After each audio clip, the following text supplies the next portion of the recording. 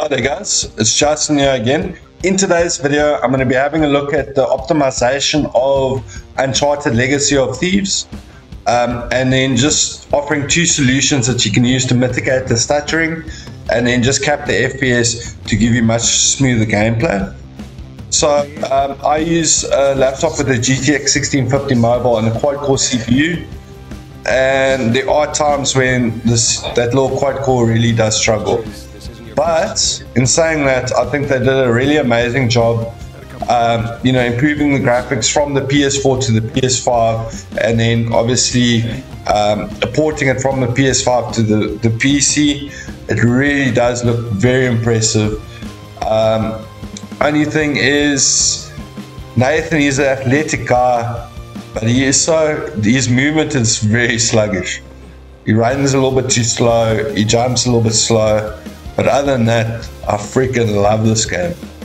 It's like it's like almost like Indiana Jones mixed with Tomb Raider, uh, with a whole bunch of like snarky comments. I like that. But anyways, so I think at this point in the video, I'll just go over my settings. Uh, you'll see, okay, you'll see your options. So now I've got a 4 gig card, the GTX 1650 mobile. So I, if I put my textures over medium, I run out of VRAM, and then everything else is a mixture of high and and uh, and ultra, for, especially for anisotropic filtering and uh, ambient occlusion. But one thing I have noticed is whenever, you, so if you look at this house, to to break into the house, you have to climb over the hill over the, or climb down the hill. So now whenever you're in very vegetated areas, as well as climbing uh, mountainous regions, um, there are quite a there's quite a dip in uh, FPS. So there's quite a drop in performance. That is due to this game being very CPU heavy. Um, so if you don't have a strong CPU, there is going to be a couple of lags here and there. And quite honestly, I think that is due to the fact that Uncharted, that obviously they released Uncharted re, uh, or the the um, the remake of Uncharted to PS5 in January of 2022, and then the PC port was slated for for May. It got delayed until June, and then they pushed it out into October. And I think they just got to a point where it's like, look, we're struggling with the optimization but we'll address it some somewhere in the future via patch.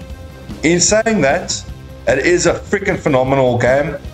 Uh, and let's just be honest, a GTX 1650 mobile, you can still get 60 FPS in medium to higher settings in most games. But I think the real problem, if like myself, you're playing on a quad core PC, is especially uh, the next gen games that are coming out at the moment really are starting to expose the shortcomings of quad-core PCs. But let me get to those two settings that can help you optimize Uncharted a little bit better. Alright, so I did a previous video showing you how to use Winaero Tweaker and then you unlock the ability to run any program in whatever priority you choose um, you know, be it medium or normal, above normal, high, or real time. So what you do is once you've unlocked that ability, and I'll link a video to Winaero Tweaker how to do this at the end of this video. But what you do then is you find where your game executable is. Um, then you find your executable and you right click on that and you see it says run with priority. I find if you run with high, if you run with high and also real time, um, it actually does mitigate some of that, that stuttering and the lag in the game. It's not going to take it away completely, I'll be honest. Um, like I said, this game does need some optimization, um, but it will make the experience a lot smoother. So, what I found is, first and foremost, let's just be honest, it's a freaking gorgeous game. Like, um, I really think when they did the the um, the port to the PS5 they really improved the game after the visuals. The port to the PC really it looks so good, but like I said, it's not optimized well. So wherever you uh, climbing a mountain, or going down a mountain, or you're in a very um, shrubbery and bush intensive area, uh, like a, a scene in nature or whatever, you'll notice that there's going to be FPS drops. So this is just going to make that a little bit smoother. You'll gain a couple, uh, one or two FPS here or there. It's not going to take away that stuttering, but it is going to make the gameplay smoother. Another thing that you can do is so now obviously once you install MSI Afterburner, part parcel of MSI Afterburner is RivaTuner statistics. So then what you do is you can cap the FPS because then you're not you, you're not going to get 70 FPS and then all of a sudden it drops to 20 or 30 or 40 or whatever the case may be. So you cap it to not not where your your highest FPS is, you cap it to just above what your average FPS is. So then it's always going to run just a little bit above your average FPS, and then when the FPS drops, it's not going to be significant. So that gives the illusion of smoother gameplay. So what I find is my average FPS uh, with the settings that I have, it's anywhere between 50 and 60. So I capped it to 62. In fact, I think I should cap it to 58. So I'm going to cap it to 58 over here.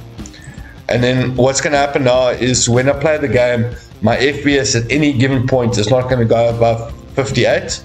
What that does is it prevents the when it when there is an FPS drop, say it drops to 50 or 45, it's less pronounced than a drop from 70 FPS to 40. If you follow what I'm saying. So those are the two things that I, I think at the moment can help you optimize the game nicely. Obviously, run with priority in the context menu and then just capping the, the FPS. In fact, I think I won't be badly served if I cap the FPS to 55. So now whenever I start the game, it's not going to be above 55, but the frame drops aren't going to be that bad. And just makes it a little bit nicer. Um, one thing I think that's really cool from the developers of Uncharted is that you'll notice all the mercenaries and even Nadine, who I thought I wasn't going to like, but she's quite sexy, um, they all have South African accents, which is two great big thumbs up. But at the same time, the developers, I assume they're American. What are they trying to say? Are they trying to say South Africans are bastards? They're not wrong. Anyways, guys, thanks for watching. Have a good day. I am going to do a little video later on um, like the different settings and how it affects FPS. But for the meantime, have a good day. Enjoy your Saturday. It's people like you. Cheers.